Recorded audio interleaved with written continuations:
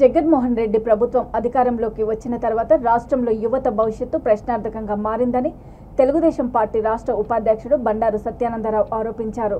Doctor BR Ambedkar Konaseema జిల్లా కొత్తపేట మండలము Vadapalem party కార్యాలయంలో మీడియా సమావేశంలో ఆయన మాట్లాడుతూ ప్రతి ఏటా జనవరి ఒకటిన జాబ్ క్యాలెండర్ అంటూ ప్రగల్భాలు పలికిన జగన్మోహన్ రెడ్డి నిరుద్యోగులను నిలువున మోసం చేశారని మండిపడ్డారు. ప్రభుత్వ ఉద్యోగాలకు నోటిఫికేషన్లు లేక రాష్ట్రానికి కొత్తగా పరిశ్రమలు రాక స్వయం ఉపాధికి ప్రభుత్వం నుంచి సహకారం అందక యువత భవిష్యత్తు అంధకారంగా మారిందని ఆందోళన వ్యక్తం చేశారు. రాష్ట్రంలో గత మూడేళ్ళలో ఇరవై ఒక వేల ఐదు వందల డెబ్బై ఐదు మంది యువత ఆత్మహత్యలకు పాల్పడ్డారని పార్లమెంటు సాక్షిగా కేంద్ర మంత్రి చెప్పిన విషయాన్ని ఈ సందర్భంగా ఆయన ప్రస్తావించారు. నాలుగేళ్ళ తమ పాలనలో ఎన్ని ఉద్యోగాలు ఇచ్చారో ముఖ్యమంత్రి సమాధానం చెప్పలేక పోతున్నారని ఎద్దేవా చేశారు. ఉద్యోగము ఉపాధి అవకాశాలు లేకే రాష్ట్రంలో యువత గంజాయి మాదక ద్రవ్యాలకు బానిసలుగా మారి జీవితాలను పాడు చేసుకుంటున్నారని విచారం వ్యక్తం చేశారు. ఈ కార్యక్రమంలో అమలాపురం పార్లమెంటు యువత అధ్యక్షుడు చిలువూరి సతీష్ రాజు జిల్లా కార్యదర్శి మాసబత్తుల ఆనందరావు తదితరులు పాల్గొన్నారు. బీసీ ఎస్టీ మైనార్టీ బ్రాహ్మణ కాపు అందరికీ కూడా సబ్సిడీల ద్వారా రుణాలు ఇచ్చి లక్షలాది మందికి స్వయం ఉపాధి కల్పించడం జరిగింది. ఈనాడు ప్రత్యేక హోదా తెస్తా ఉన్నారు. ప్రత్యేక హోదా వస్తే రాష్ట్రం అభివృద్ధి చెందిన చంద్రబాబు నాయుడు గారు కూడా అనేక రకాలుగా కేంద్రంతో పోరాటం జరిగింది. రాజకీయ ప్రయోజనాలు కూడా లెక్క చేయకుండా. ఈనాడు ఇరవై ఐదు మంది ఎంపీలు ఇస్తే మీకు బ్రహ్మాండంగా ఈ రాష్ట్రాన్ని ప్రత్యేక హోదా సాధించి పట్టుకొస్తారన్న జగన్మోహన్ రెడ్డి గారు తోక ముడిచేశారు. ఎక్కడా ఈ నాలుగేళ్ళ కాలంలో ప్రత్యేక హోదా గురించి ప్రశ్నించిన పాపాన పోలేదు.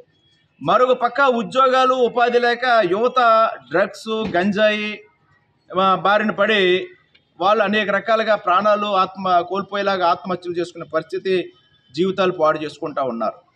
మరి గతంలో లేని విధంగా ఈనాడు అనేక రకాలుగా గంజాయి సాగు గంజాయి అక్రమ రవాణా ఈ రాష్ట్రంలో మొదటి స్థానంలో ఉంది. దేశంలోనే మొదటి స్థానంలో గంజాయి అక్రమ రవాణాలో ఇరవై ఆరు శాతం పట్టుబడ్డ గంజాయిలో ఆంధ్రప్రదేశ్లోనే దొరుకుతూ ఉంది అంటే ఇవన్నీ కూడా కేంద్ర ప్రభుత్వ గణాంకాలు అంటే రాష్ట్రం ఏ విధంగా దిగజారిపోయింది యువతను ఏ విధంగా సర్వనాశం చేస్తుందని గత ఒక ఉదాహరణగా నేను తెలియజేస్తా ఉన్నాను. ఐదు వందల డెబ్బై ఒక్క మంది యువత రెండు వేల ఇరవై ఒకటి సంవత్సరంలో గంజాయి బారిన పడి ఆత్మహత్యలు చేసుకున్నారంటే ఇంతకంటే దారుణమైన పరిస్థితి ఏది ఉండదు.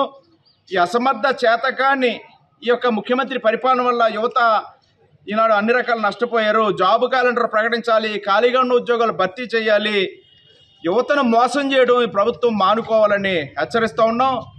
నాడు స్టడీ సర్కిల్స్ ఉండే స్టడీ సర్కిల్స్ లేవు ముఖ్యమంత్రి నేస్తం లేదు పెట్టుబడులు లేవు అమరావతి లేదు డిఎస్సి లేదు రుణాలు లేవు.